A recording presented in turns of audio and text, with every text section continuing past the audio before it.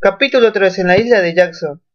Las vacaciones de verano llegaron y no había escuela. Uh, Tom no quería pensar en Move Potter y, Joe el Indio, pero no fue fácil.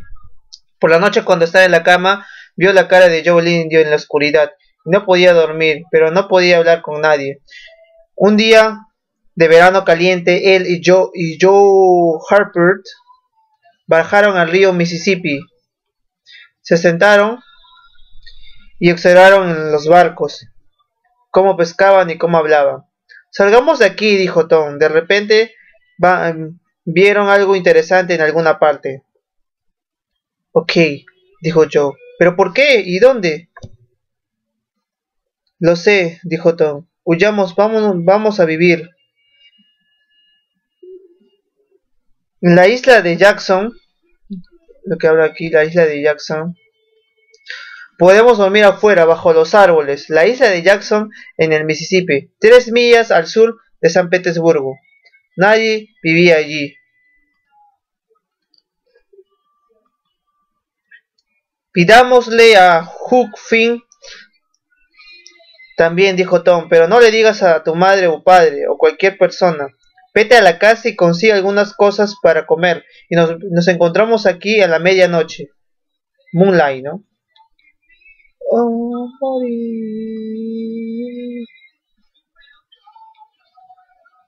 Así que esa noche tres muchachos en un barco pequeño se fueron por el río hasta la isla de Jackson. Tenían un poco de pan y un poco de carne. Hook tuvo su pipa también.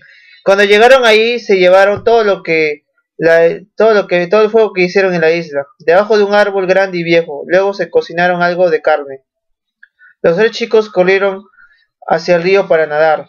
Durante el fuego, la carne estaba muy buena, era la mejor comida del mundo. Al poco tiempo dejaron de hablar, sus ojos se cerraron y durmieron.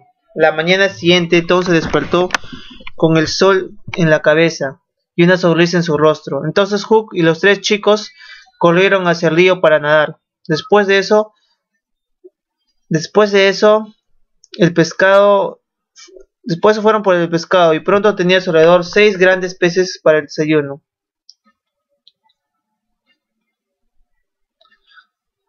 Ellos cocinan el pescado en el fuego y comieron todos y todos estaban bien hambrientos.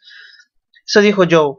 Joe fue un maravilloso desayuno. Después Después del desayuno caminaron a través de la isla, nadando un poco más, hablaban, pescaban y nadaban de nuevo. Volvieron al, a su, hicieron de nuevo su, su fogata en la noche y de repente Tom levantó la vista y dijo, escucha, ¿puedes oír un barco? Ellos escucharon y luego corrieron por toda la isla para mirar el río. Había veinte o más barcos en el agua. Cada barco en San Petersburgo que está, cada barco que iba que se iba fuera de San Petersburgo. 20 a 30 barcos. ¿Qué están haciendo? preguntó Joe. Estaban están buscando un cuerpo muerto, dijo. Dijo Hook. ¿Qué hicieron en el verano pasado cuando Bill Turner cayó al río y se ahogó? Bill Turner cayó al río y se ahogó. ¿Quién está muerto, te parece? preguntó Joe. Los chicos miraban a los barcos de repente Tom gritó, yo sé que está muerto, somos nosotros, están buscándonos a nosotros, eso fue maravilloso. Tom miró a sus amigos, somos famosos, güey, dijo. Todo el mundo en San Petersburgo está hablando de nosotros, o sea, brothers, y todo lo que siento, todo lo que sentimos por nosotros, todo lo que sentimos por nosotros llegó la noche. Los chicos se fueron a dormir, pero Tom no dormía. Cuando llegó la mañana él no estaba allí. ¿dónde está Tom? gritó yo. No sé, brother. Ah, mira, ahí está. Está cruzando a nado la isla ahora. Hey, Tom, el desayuno está listo. Tom le dijo, a su, le dijo su historia. Me fui a casa ayer por la noche, dijo, y escuché a la ventana. Joe, tu madre también está allí. Y era la era tía Polly, lloraba y lloraba. He oído algunas cosas muy interesantes. El domingo no va a ser un día un, va a ser el domingo no va a ser un gran funeral de la iglesia para nosotros. Escucha, tengo una idea maravillosa. Hook y Joe escuchaban y se reían, y era una idea maravillosa. Principio de formulario. Esa noche los muchachos cocinaban un poco más de pescado, y después de cenar Hook consiguió su pipa y empezó a fumar. ¿Se puede fumar también? preguntó Tom. Que yo quiero aprender. Así que Hook fabricó las pipas de Tom y Joe. Y los tres chicos se sentaron y fumaron. ¡Ey, me gusta fumar! dijo Tom. Es lo más fácil del mundo. No es nada, dijo Joe. Voy a fumar todos los días de mi vida. Pero después de diez minutos, John y Tom estaban cada vez más silenciosos y sus caras tomaron un color interesante. Voy a dar un paseo más pequeño ahora, dijo Tom. Se puso de pie y con cuidado se alejó entre los árboles. Yo también, dijo Joe, de forma rápida. Los dos muchachos regresaron una hora más tarde, pero ellos no fumaban sus, pipas de nuevo. El domingo por la mañana no, está, no había caras felices en San Petersburgo. La tía Polly y la madre y el padre de Joe estaban en la iglesia y todos los amigos del chico. El mismo dijo que algunas cosas muy buenas de los niños. Las familias y los niños lloraban y gritaban. Todo el mundo lloraba. Y más pequeño, Becky Thatcher. ¡Ah!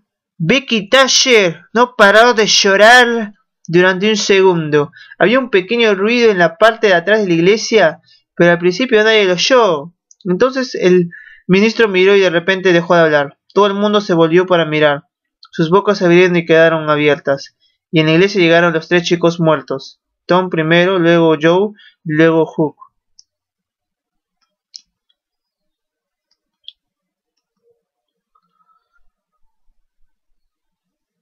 La iglesia llegó. Por un instante nadie se movió ni habló, y todos comenzaron, y luego comenzó el ruido. La tía Polly y la madre corrieron hacia los chicos, y se los llevaron en brazos. Tía Polly gritó y se rió y gritó de nuevo. ¡Oh, tú eres chico malo, pero te quiero! De repente el ministro llamó. ¡Oh, qué día tan feliz! cantó. Mm, gracias, San Petersburgo, cantaba y se iban felices. Y todo el mundo cantaba y sonrió. Y se echó a reír por un largo tiempo. Fue el funeral más feliz de San Petersburgo. No fue un funeral porque encontraron a los tres chicos vivos, tranquilos. Las semanas pasaron y el juez llegó a San Petersburgo el día antes del juicio de Muff, Potter. Hook y Tom se, conocieron en la calle cerca de la casa de Tom. Hook estaba contento. Tom, que ya sabes que no tienes que decir nada, ¿verdad? No, no dice, no dice, no dije nada a nadie. ¿Qué pasa con Muff?